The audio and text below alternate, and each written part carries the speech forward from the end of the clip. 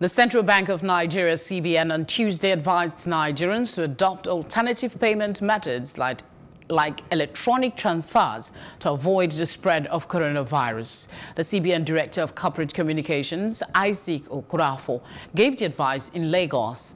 He said one of the ways people could contact the disease was by touching a surface or object that had the virus and then touching one's mouth, nose or possibly the eyes. According to him, the Naira note is one surface that people touch every day.